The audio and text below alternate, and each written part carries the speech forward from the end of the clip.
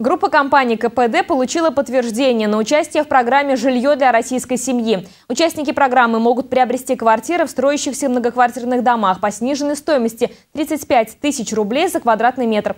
Квартиры будут отвечать всем современным требованиям и стандартам, обещают строители. Мы побывали в новом микрорайоне Прибрежные, где к сдаче готовится первый дом. На сегодня приобрести квартиру по программе «Жилье для российской семьи» решили более 110 семей. Для участников программы группа компаний КПД возводит два дома в жилом комплексе «Прибрежный». Дом номер 5 будет готов к заселению в декабре, а дом номер 4 в следующем году. Участникам программы предлагают одну, двух- и трехкомнатные квартиры площадью от 35 до 94 квадратных метров. Согласно требованиям программы, все квартиры должны сдаваться с полностью чистовой отделкой. В отделку входят обои, линолеум, натяжные потолки, полная комплектация санузла, окна, двери, счетчики на холодную горячую воду и на газ.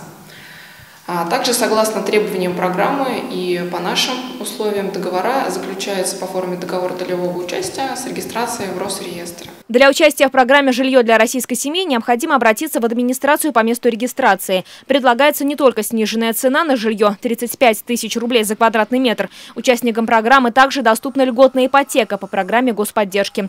Перечень категорий населения, которые могут быть включены в группу «Жилье для российской семьи» достаточно широк. Под категории граждан подпадают э, молодые семьи с одним ребенком, многодетные семьи, получатели материнского сертификата, участники боевых действий, проживающие в ветхом аварийном жилье, а также все те, у кого на одного члена семьи менее 18 квадратных метров. По статистике а, из администрации города Стрельтамака под программу в городе Стрельтамак подходит более 70% населения.